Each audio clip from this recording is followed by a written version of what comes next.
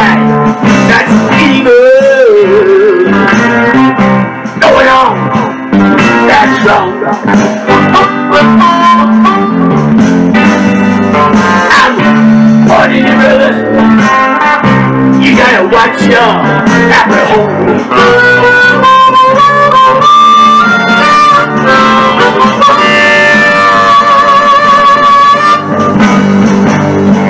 Hey, welcome to the channel.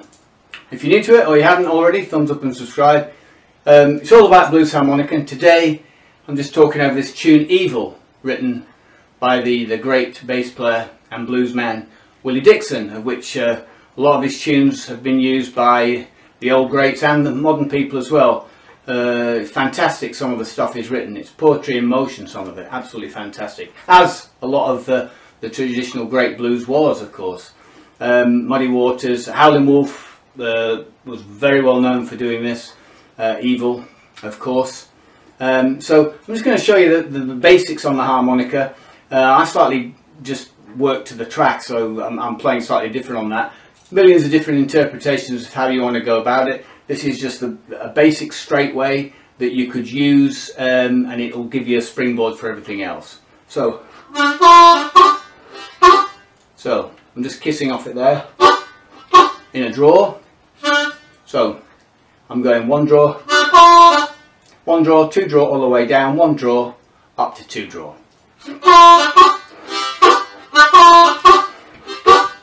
Okay, and that's over the first four bars. And then, so I'm using three blow this time here. Normally you'd use two draw, but here seems right to use that, I think, just in this context. So, three blow, three to half step, draw on onto three blow again, and you can use a block chord there or or a straight chord even, you know, can work and it can sound quite rich, you know, in that context. Up to you, which way you want to go. Then go back to the original. See the way I'm accenting that? Just depends how you want to do it or how your bass player or whoever you're working with, guitar player is working. Okay, and then the last uh, chord that you need is so three draw full step, four blow, back onto three draw full step, then onto four draw.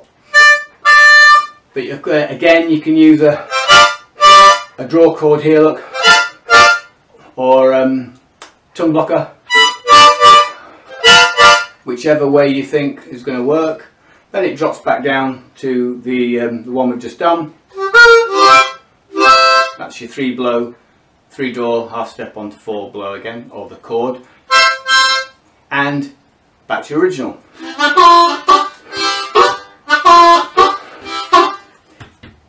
And that's, that's it. If you're going to do it as a solo piece, um, uh, and put your voice over the top then uh, then you're going to have to work out your displacements there of just where you're going to drop things in okay? I'm not going to do that here because um, I have my way of doing it.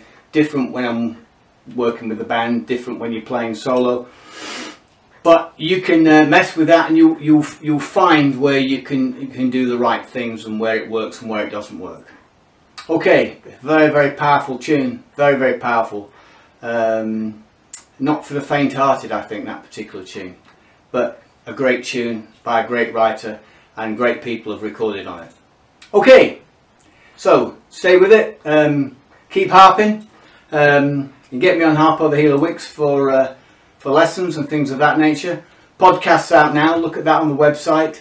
Got three episodes so far and it's uh, gaining momentum on that one. So check that out there might be something useful on there. Alright hope you enjoyed the lesson um, Catch on the rebound.